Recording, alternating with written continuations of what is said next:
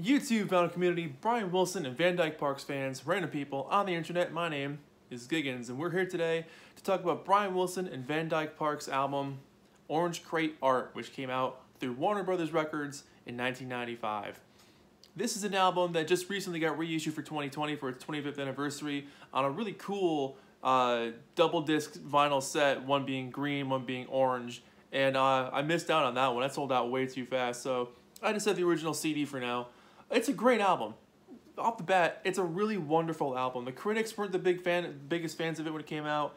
Um, you know, calling it a bit wordy and hard to memorize, or you know, having melodies that don't really stick with you, which I find that completely false. Um, and I also think if you're a fan of Smile, you'll basically dig what they're doing here. Obviously, it's not the same thing, but there's minor similarities here.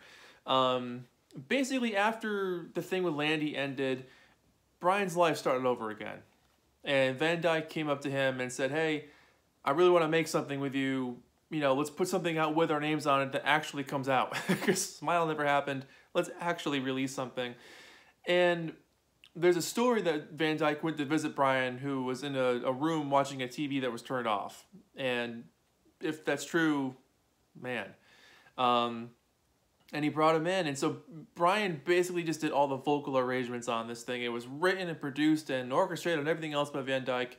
Um, and Danny Hutton sings on some songs in the background, which is pretty cool. Their old friend Danny from back in the day.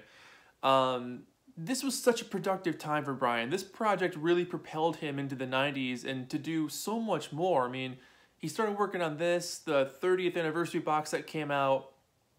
Um, he started working on the I Just Wasn't Made for These Times movie with Don Was and the subsequent uh, soundtrack for it, the Pet Sounds box set, the new Beach Boys music, the Imagination album. I mean, he was busy in the 90s. So thanks to this album coming out, this really sort of got him up to speed when they started working on this thing in 1993. And unfortunately, as Van Dyke Park said, it, it came out and sank without a trace.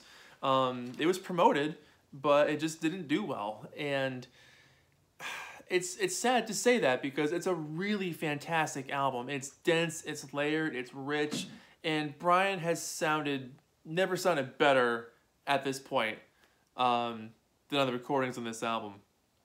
So it opens up with the title song "Orange Crate Art," which um, orange crates used to uh, maybe they still do, but they'd come in these orange crates, these wooden crates with different forms of art on the side for whatever grove the orange, oranges came from, which is kind of what inspired Sunflower with that title, but I love this song. It's a great opening track. It's got sort of an Americana bluegrass guitar underneath it, lush orchestrations, very many multi-layered vocals from Brian.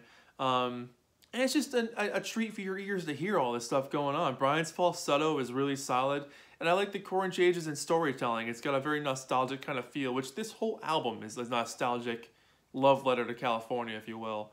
A postcard to California. Um, you know, definitely worthy of naming the album after this track. Sail Away, there's a second track on here. It rocks along really well, and Brian sounds so confident here. I'm going to say that a lot throughout this album because Brian's vocals on this album are a man reborn. He sounds so invigorated and so determined and so enthusiastic about his performances that he's really given it a million percent, which hasn't sounded like that in a very long time before this record came out. But this track is so uplifting and inspiring, and the middle bit with the steel drums really works well. I just love this song. The expression of optimism that's outpouring from it is, is super catchy. Um, My Hobo Heart is the third song on here. Very Gershwin type track on this one, and that goes for a lot of these songs too. They've got that very 20s, 30s feel. And the last song on here is in fact a Gershwin song. Um, but again, Brian's enthusiasm here, very fun to listen to. Wings of a Dove is track four, and it's kind of a lightweight, carefree song. Um, but I really like the chord changes and the dense layering of the instrumentation on here. The accordion, get, getting this, I'm hoping that's Van Dyke playing the accordion because he's really good at it. Um, but again, another vocal performance from Brian where he's charged up and ready to take on the world. Track five is one of my favorites on the album, uh, Palm Tree and Moon. This is a really pleasant ballad that has lots of descending harmonies, which if you've watched my channel before, you know I'm a sucker for descending harmonies. Um, really nice old-timey feel, and I'm not sure, it's one of those songs where it's like, why did the critics pan this album? This song is super catchy. Um, you know, the whole put it in a letter and then the musical refrain that follows that. It's a total earworm. This song sticks in your head. I love the imagination and the storytelling on this one. And the it just takes you to some other foreign place. I guess California. Fantastic song. Summer in Monterey continues this feel of traveling the old west. It's this is a song for me that sounds like a family in the back of an old, you know, 57 Chevy taking a long cross country trip and they're all singing along, you know. That's what it sounds like to me. Um, it's reflective and dreamy and it's sometimes sly. It's got these moments of like like kind of coy, sly chords. Um, but really fun to listen to. I, I really dig that song a lot. San Francisco is the next track on here. This is one of my favorites on the album, and if you pick up this album here, just a couple of songs, make sure San Francisco is one of them. I love that giddy up intro. Um, to me, it sounds like really heavy merry-go-round music, um, but the vocal changes on this out on this song, the amount of work that Brian put in to make this really imaginative vocal presentation, it's like, wow, where has this guy been? You could tell he was being suffocated for years where he couldn't release all of this imaginative uh, vocal interplay and construction and layering. And it really shows just how imaginative and brilliant this guy is that he could put all this stuff together and make it sound so fun to listen to and you get lost in picking out the layers. I mean, where has this Brian been? You know, up until this, if I heard this album in 1995, I would have been like, wow, where has this Brian been? Because it's just fantastic. Hold Back Time is the, uh, the eighth song on here. Almost a vaudevillian feel on this one, slightly Caribbean, um, and again, more of that nostalgic kind of writing about the past. Not a bad song, you know, pleasant little track. My Jeanine, uh, I love the bass harmonica, very pet sounds to hear that thing. More old-timey vibes, of course, and Brian's vocals are so warm and dedicated on this one. Um, and he hits a couple of vocal, there's a couple of vocal moments on here where he hits a certain note and it's kind of like, wow, I know he can do that. You know, he's got some moments on this song. It's like, wow. So really dig that one. Number 10, Movies is Magic. Not my favorite one on here. Um, you know, it's got this big Hollywood intro, which is pretty cool. And, you know, it's kind of a story about movies and relationships and boys and girls and that kind of stuff. It's okay. Not my favorite thing on here. This Town Goes Down at Sunset. This one's pretty good, too. Um, nice sound effects with the crickets on here. I love the home on the range kind of vibe where you know, it's just the story of a town rolling up the sidewalk at the end of the day and everyone going home and getting comfy and going to bed and, you know, living their daily normal kind of lives. Um, a nice little song. And then you end with Lullaby, which is a, really good closer. You know, it's a George Gershwin track and it's an instrumental. But the orchestrations and the strings and, you know, the dynamics on here really make for a good closer. It's a good bookend on this one here.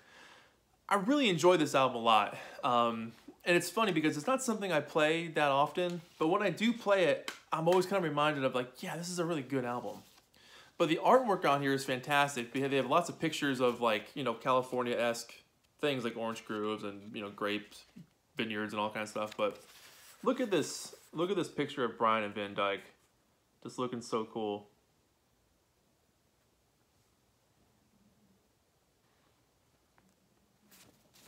And the booklet has the lyrics, so you can read along to the words as you go. But really nice pictures and paintings from the last 100 years. And the disc itself is a simple orange disc. And this is funny because like I've, I've wanted to review this album for a while, and then, then when the reissue got announced, I wanted to do it then. So I'm a little late to the game with talking about this thing, but I love it. It's a great album. It's a lot of fun to listen to. Um, you know, hearing the two of them work together again is fantastic. And there's this, I don't remember if I told this already in, the, in, the, in this video, but when Brian got to the studio, he stepped up to the microphone and asked Van Dyke, what am I doing here? And Van Dyke hit the button to talk to Brian and said, you're here because I hate the sound of my own voice. And Brian was like, well, that makes sense. Let's go. um, kind of kicked him into gear there. But it's a great album. You know, it really is a great album. I mean, there's only a couple of songs on here that I'm kind of like, eh, about. But, you know, 90% of it I highly, highly recommend. Hearing Brian's voice sound so confident and so on top of his game and the dense layering of vocals. I mean, this guy's talent is just unreal. And then hearing that against Van Dyke's really well put together chord changes and his his way he can describe a smell or a sound or a sight through music is captivating. So his musical score and the emotion that it brings out com- com- combined with Brian's vocal ability, you get a, a work of art, some orange crate art, if you will. So I'm giving this thing a 9 out of 10. I think it's fantastic. It's definitely one you shouldn't pass up if you're a Beach Boys fan or if you're a Van Dyke Parks fan, which they go hand in hand, I would assume. But um, yeah. Van Dyke Parks and Brian Wilson, Orange Crate Art, 1995. 9 out of 10. I think it's a fantastic, fantastic album. That's it. My name is Giggens. This has been Brian and Van Dyke with their Orange Crate Art album. Uh, thank you so much for watching. Let me know what your thoughts are on this thing in the comments below, and we can talk about that and um, have a good time. So take care, drink some water, take care of yourselves, and I'll see you in the next video. Bye-bye.